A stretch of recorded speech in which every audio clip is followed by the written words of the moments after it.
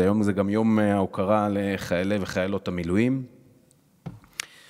אז אני חושב שלהגיד היום הוקרה לאנשים כאלו שעוזבים משפחות, ילדים קטנים וחיים ועסקים ובאמת עולם שלם וחודשיים כבר לא נמצאים בבית, אז מפה, לפני כל מילת ביקורת, המון המון תודה לכם. אנחנו, גם אם נראה וגם אם נראה לכם וגם אם לא, אנחנו כולנו בבית נלחמים, בבית הזה נלחמים כדי לעשות לכם, להיות ראויים לקורבן האישי שלכם, גם שלכם, של המשפחות, של האנשים וגם גברים שנשארים בבית ומנהלים משק בית, שזו מלחמה לא פשוטה ולעיתים המדינה די מתעלמת מהם.